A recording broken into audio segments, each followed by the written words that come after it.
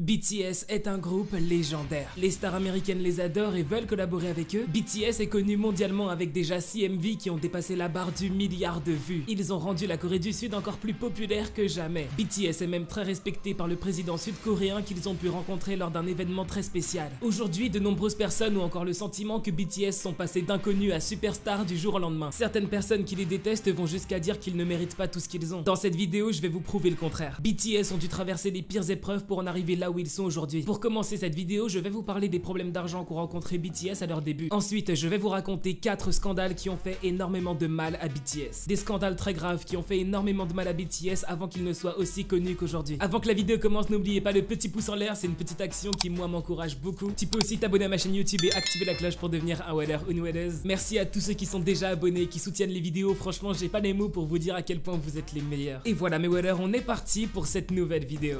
Les débuts de BTS sans argent. Au tout début de leur carrière en 2013, c'était vraiment la galère totale pour BTS. Ils n'étaient pas respectés par certains artistes, ils n'étaient pas respectés par certaines chaînes de télé, par certains médias et surtout, ils n'avaient pas d'argent. C'est sûr que l'argent a été un gros problème pour BTS à leur début. En 2013, BTS n'avait que très peu d'argent pour travailler sur leur projet puisque leur agence Big Hit Entertainment était assez pauvre. À l'époque, Big Hit c'était vraiment une petite agence qui n'avait pas beaucoup de succès. Voici à quoi ressemblaient les bureaux de Big Hit en 2013, c'était juste une grande pièce quoi. À ce moment, Big Hit était très loin d'avoir son propre bâtiment. En fait, ils ont loué ce bureau dans un bâtiment où plein d'entreprises travaillaient déjà. À savoir qu'à cette époque, l'agence de BTS se trouvait déjà à Séoul. Ce qui est un problème puisqu'aucun membre de BTS ne vient de Séoul. Ils sont tous nés dans d'autres villes en Corée du Sud. RM vient d'Ilsan, Jin vient de Gwacheon, V et Suga viennent de Daegu, J-Hope vient de Gwangju, Jimin et Jungkook viennent de Busan. Donc pour se préparer à faire leur début dans la musique, tous les membres de BTS ont déménagé à Séoul entre 2010 et 2012. Ils se sont entraînés quelques temps puis leur agence a décidé qu'ils formeraient le groupe BTS. BTS a fait ses débuts dans la K-pop en 2013. À cette époque, ils étaient jeunes, ils n'avaient pas d'argent, donc c'est leur agence qui payait leur appartement. Problème, leur agence, ils avaient pas trop d'argent non plus. Ce qui fait que BTS vivait à 7 dans un petit appartement. Ils dormaient tous les 7 dans la même chambre. Leur agence avait mis plein de lits superposés dans la même chambre puisqu'il n'y avait qu'une seule chambre dans cet appartement. Un jour, une chaîne de télé est venue les réveiller pour filmer une émission et c'est là qu'on a pu découvrir où est-ce qu'ils dormaient. 적서공개 하이라이터 하루만 네 방의 침대가 되고 싶어 Bon, une fois tous installés à Séoul, il fallait bien qu'ils commencent à faire de la musique. Faisons un petit bond dans le temps. On est en 2014 et ça fait déjà un an que BTS travaille dur, ils ont déjà sorti deux mini-albums et ils ont failli se séparer puisque leur agence avait de gros problèmes d'argent. Faut dire la vérité, à cette époque, Big Hit manquait cruellement d'argent pour faire continuer BTS. Et en même temps, il y avait d'autres idoles de Big Hit en plein scandale médiatique. En 2014, j'avais clairement 13 ans, je faisais rien. BTS, ils jouaient leur vie les gars. Donc voilà, BTS ont commencé à travailler sur leur tout premier gros album en 2014, un album de 14 titres qui s'appelle Dark and Wild. C'est dans cet album qu'on a pu découvrir le morceau Danger qui a eu son petit succès. L'enregistrement de cet album a commencé en Corée du Sud, mais la majeure partie a été enregistrée à Los Angeles. Enregistrer un album à Los Angeles, dit comme ça, ça peut faire rêver. Tout de suite, on peut penser aux gros studios américains super luxueux où tous les plus gros rappeurs ont enregistré leurs projets. Sauf que pour BTS, euh, ça s'est pas du tout passé comme ça. Bah oui, rappelez-vous qu'à ce stade, l'agence de BTS, ils ont toujours pas de sous. Ce qui fait que BTS va effectivement enregistrer son album à Los Angeles, mais dans un garage. Hum. Ouais, c'est pas une blague. Voici le garage dans lequel a été enregistré le tout premier album des BTS. C'est le garage d'un ami du directeur de l'agence de BTS, il leur a prêté. Sur cette photo, vous pouvez voir les producteurs de BTS en train de travailler. Juste là, on a V qui s'apprête à chanter. Et ici, on a Jimin qui est en train de relire ses paroles avant un enregistrement. À cette époque, BTS travaillait tout le temps, même la nuit, il dormait très peu. Il passait des heures et des heures à apprendre les chorégraphies jusqu'à épuisement total. Dans une interview récente, Jungkook a parlé de cette époque et il a dit que ça leur arrivait de partir discrètement pour faire une sieste dans la salle de bain, jusqu'à ce qu'un manager s'en rende compte et leur dise de sortir pour retourner travailler. Faisons encore un bond dans le temps de un an. On est en 2015 et BTS vient de sortir un nouveau projet, c'est leur troisième mini-album. Dans ce projet, il y a le single I Need You et BTS ont bien envie d'en faire un MV. Sauf qu'en 2015, même si l'agence de BTS commence à gagner un peu d'argent, bah c'est pas trop ça non plus. hein. Et produire un MV, les gars, ça coûte super cher. L'agence de BTS a donc décidé de faire des économies dans la figuration. Dans I Need You, il y a une petite scène où Jungkook doit interagir avec deux acteurs. Je crois qu'ils se bousculent ou un truc comme ça. Et bien, ces deux acteurs, ce sont en réalité les managers de BTS qui ont accepté de jouer le rôle pour faire économiser de l'argent à l'agence de BTS. Parce que très clairement, payer deux acteurs professionnels, ça coûte super cher et l'agence, ils avaient pas trop les moyens. Comme vous l'aurez compris, BTS à leur début, c'était surtout de la débrouille. Comment faire les meilleurs projets possibles avec le peu d'argent qu'on a. Mais vous allez découvrir que BTS ont aussi vécu des difficultés traumatisantes. RM menacé de mort.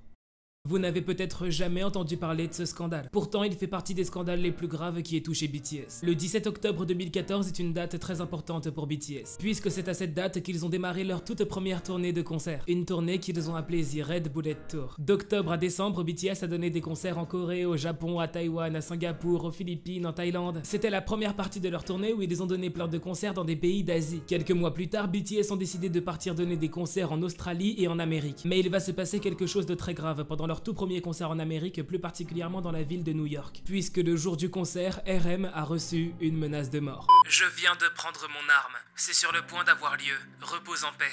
Namjoon. Un homme a littéralement publié une photo d'une arme en disant que c'est la sienne et qu'il compte l'utiliser pour tuer RM. Ce soir-là, à New York, BTS a quand même donné son concert et tout s'est bien passé. Le truc, c'est que l'agence de BTS était vraiment inquiète, ils ont vraiment pris ces menaces au sérieux. Normalement, un événement était prévu après le concert, les armies qui ont payé les places les plus chères allaient pouvoir rencontrer BTS, leur parler, leur serrer la main. Sauf qu'à la fin du concert, un membre du personnel est venu leur dire que cet événement a été annulé. Cet événement a été annulé puisque l'agence de BTS avait peur que celui qui a menacé RM de mort utilise cet événement pour se rapprocher de lui lui faire du mal. Fallait protéger RM au maximum et oui, c'était une éventualité que celui qui a menacé RM de mort se trouve dans la salle de concert. Tous les armies qui étaient sur le point de rencontrer BTS étaient vraiment dégoûtés, ils ont commencé à se plaindre, je vous laisse regarder ça. I regretfully announce that we have to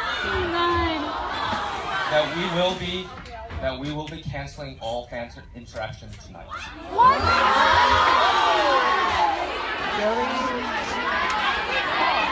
We understand, we understand that there's going to be a lot of disappointment. But this concerns, this concerns the safety and well-being of the members of BTS Devant la salle de concert, des armées ont pris des photos pour montrer qu'il y avait pas mal d'agents de la police de New York qui ont été appelés, certainement pour assurer une certaine sécurité. Finalement, c'est une très triste vidéo qui a été filmée par une armée dans la rue devant la salle de concert. On peut voir BTS, ils viennent de quitter la salle de concert, ils sont en train de marcher dans la rue pour rejoindre leur voiture. Malheureusement, ils sont partis avant d'avoir pu rencontrer les armées comme c'était prévu. Les armées étaient très conscients de ce qui venait de se passer, que RM avait été menacé de mort, donc ils ont commencé à s'excuser, à dire sorry, sorry, alors que c'est vraiment pas de leur faute si BTS est parti plus tôt que prévu. Sorry. Sorry. Sorry. We love you. On aurait tous voulu que cette histoire s'arrête là, mais c'est pas le cas. Seulement 13 jours après leur concert à New York, BTS s'est rendu au Mexique pour donner un autre concert. Déjà, l'arrivée de BTS au Mexique, c'était n'importe quoi à cause de tous ces fans qui n'arrêtaient pas de hurler et de se bousculer.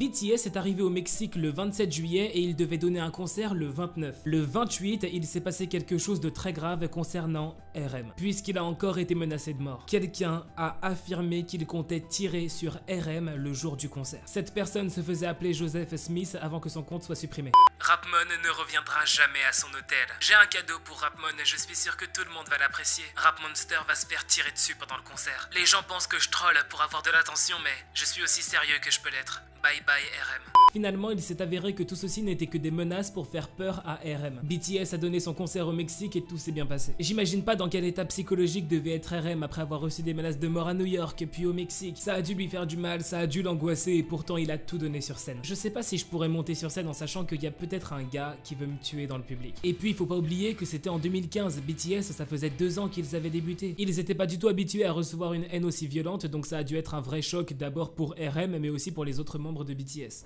le projet Breakwings. Maintenant, on commence à avoir l'habitude de voir des fans de K-pop réaliser des projets pour leur idol préféré. On se rappelle du jour où les fans chinois ont loué 34 bâtiments pour l'anniversaire de Jimin. C'était beaucoup trop beau, tous les bâtiments s'allumaient en même temps, il y avait des photos de Jimin, il y avait écrit son prénom et sa date d'anniversaire en chinois. Ce genre de projet demande beaucoup de travail, mais les fans y arrivent puisqu'ils sont passionnés et qu'ils aiment BTS. Maintenant, Dites-vous qu'un jour, des milliers de fans à travers le monde ont uni leurs forces, non pas pour faire plaisir à BTS, mais pour les détruire. On est en 2016, BTS commence à sortir des trailers pour annoncer la sortie de leur deuxième album coréen, Wings. À l'époque, je me rappelle que c'était un gros événement puisque ça faisait déjà deux ans que BTS n'avait pas sorti d'album coréen. Au moment où sortent les trailers, les armies sont plus chauds que jamais prêts à soutenir BTS. Mais voilà, c'est à ce moment que le projet Break Wings est lancé par des anti-fans de BTS. Des gens qui détestent BTS. Pour la suite de l'histoire, vous devez savoir que ce projet a été créé par une fan de EXO et en partie soutenu par beaucoup de EXO-L. Et je tiens déjà à dire que je mets pas tout les XOL dans le même panier. Je parle vraiment d'un petit groupe de quelques milliers de fans toxiques qui ne représentent pas les millions de fans de EXO qui sont eux très bienveillants et n'auraient jamais attaqué BTS. Mais alors en quoi consistait le projet Break Wings Concrètement, le but c'était de saboter le retour de BTS. C'est pour ça que ça s'appelle Break Wings en fait, parce que Wings, c'est le nouvel album de BTS, donc Break Wings. Vous aviez déjà compris en fait. Pour ce faire, les antifans ont créé une stratégie. J'ai retrouvé une archive qui explique très bien ce qu'ils comptaient faire. Breakwings Project. Ne regardez pas leurs vidéos. Streamez d'autres artistes qui sont en compétition avec eux. Faites en sorte qu'ils ne restent pas longtemps au top des charts. Envoyez des commentaires haineux. Dislikez le MV. Projet détruire le comeback de BTS. Comme vous le savez certainement, BTS sont de retour. C'est pathétique de les autoriser à comeback après EXO. Une leçon a besoin d'être faite pour qu'ils ne comeback jamais après nos rois EXO. Donc on va leur apprendre une leçon. On va ruiner leur comeback. Des commentaires négatifs seront publiés sur leur chaîne YouTube. On va constamment signaler leur MV jusqu'à ce qu'ils soient retirés de YouTube. J'ai récupéré une centaine d'XOL qui me soutiennent. Une vingtaine sont coréennes, elles iront à leur concert de comeback pour leur jeter des choses et les huer. Jamais un projet de haine massive envers BTS n'avait été aussi populaire. Tout le monde en parlait, tout le monde était au courant du projet Breakwings. Évidemment, ça soulève une question. Est-ce que ça a marché? Est-ce que les antifans ont réussi à saboter le retour de BTS Est-ce que les antifans ont réussi à faire en sorte que Wings ne marche pas? La réponse et non, puisque les armies sont beaucoup trop forts. Wings a été un énorme succès, l'album s'est écoulé à près d'un million cinq cent mille exemplaires. Quand il est sorti, Wings est rapidement devenu l'album de BTS qui a eu le plus de succès. Et en plus de ça, le single Blue Titan Tears qui se trouve dans l'album Wings est devenu un succès mondial. Le projet Break Wings a été un échec. Mais tous ceux qui détestent BTS n'avaient pas encore dit leur dernier mot. En Corée du Sud, il existe plein de cérémonies, de compétitions pour faire gagner des awards aux groupes de K-pop. Ce qui veut dire qu'il y a plein d'awards différents à gagner. En Corée du Sud, il y a un award qui est plus prestigieux que tous les autres. Cet award, c'est le Daesung Award. Deux mois après la sortie de l'album Wings, EXO, BTS, GFriend, Taeyeon et Twice ont tous été nominés pour potentiellement gagner un Daesung dans la catégorie artiste de l'année. Les EXO-L voulaient voir gagner EXO. Et tous ceux qui détestent BTS voulaient voir gagner n'importe qui sauf BTS. Et ces gens-là espéraient que le projet Break Wings ait eu suffisamment d'impact pour que BTS ne gagne pas. Mais finalement, euh, voilà ce qui s'est passé. 네, 수, 수상자는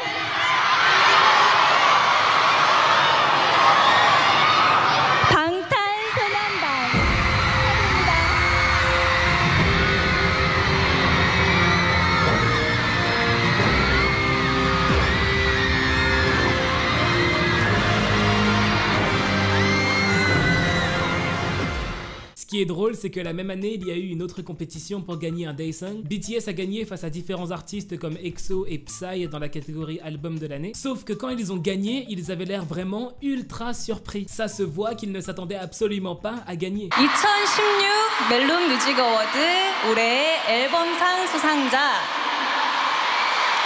방탄소년단 축하드립니다. 축하합니다.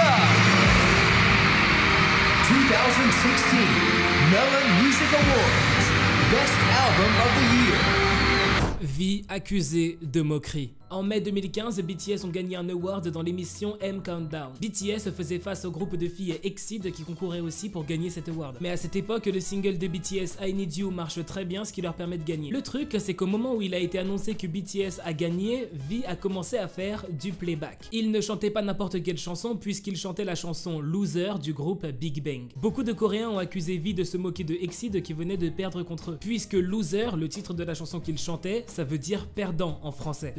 Éclate en Corée du Sud et les médias commencent à sortir leurs articles pour en parler et V commence à recevoir beaucoup de critiques. Jusqu'à ce que V finisse par répondre à la polémique de manière très discrète. Dans un tweet, il a montré une liste de chansons qu'il écoute avant d'aller dormir et dans cette liste, on peut voir Loser de Big Bang. Il a dit qu'il aime tellement ces chansons qu'il a commencé à chanter l'une d'entre elles quand il a gagné le award. V ne voulait pas se moquer d'Exceed, mais en fait, quand il a appris qu'il avait gagné, il était tellement heureux, tellement excité qu'il a commencé à chanter sa chanson préférée naturellement.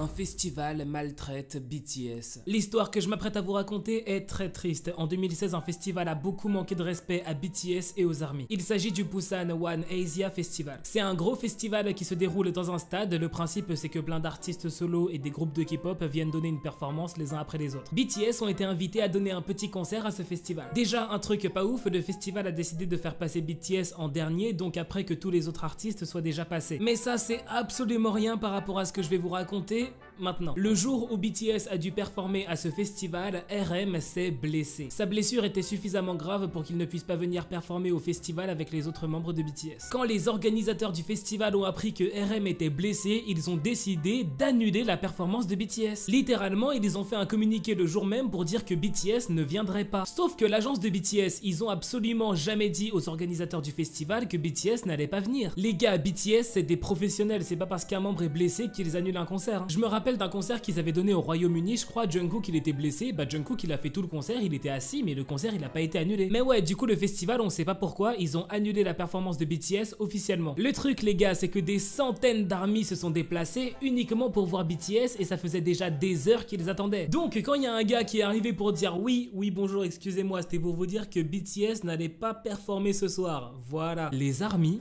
ont refusé de partir. BTS sont arrivés au festival et ils ont dû supplier l'organisation de les laisser performer en leur expliquant que leurs fans attendent depuis des heures et qu'ils ne veulent pas les décevoir. L'organisation du festival a finalement accepté, BTS est monté sur scène et ils ont donné ce concert aux armies. Ce concert était super cool mais c'était quand même assez triste pour BTS. Tous les autres artistes invités à ce festival qui ont donné une performance sur scène, bah ils sont passés à la télé sur la chaîne SBS qui est une chaîne très populaire en Corée du Sud. Donc ça leur a fait une excellente promo à ces artistes là. Mais puisque le festival avait officiellement annulé le concert de BTS, bah BTS n'est pas passé à la télé comme les autres. Alors que clairement BTS était venu pour ça, passer à la télé, ça fait partie de leur promo. Normalement BTS donne pas des concerts gratuits en échange de rien. Et encore une fois, puisque le concert de BTS était censé être annulé, l'organisation n'a même pas pris la peine de nettoyer la scène avant que BTS monte dessus. BTS ont dû performer sur une scène où se trouvaient des confettis du concert précédent, ce qui peut être dangereux hein, s'ils glissent et tombent. Pour l'anecdote, le concert précédent c'était Psy. En plus, pendant la performance de BTS, toutes les caméras étaient éteintes, donc toutes les images qu'on a de ce concert, c'est une vidéo qui a été filmée par une armée. Alors que pendant les performances de tous les autres artistes, les caméras étaient allumées, ce qui fait que ça a été super bien filmé et on a des belles images de leur concert. C'est vraiment injuste pour BTS. Ce jour-là, BTS a uniquement donné ce petit concert pour ne pas décevoir les armies qui les attendaient depuis des heures, mais eux, ça leur a rien rapporté. Les armies étaient parfaitement conscients de ce qui se passait, donc pendant le concert, on peut les entendre crier comme jamais pour soutenir BTS.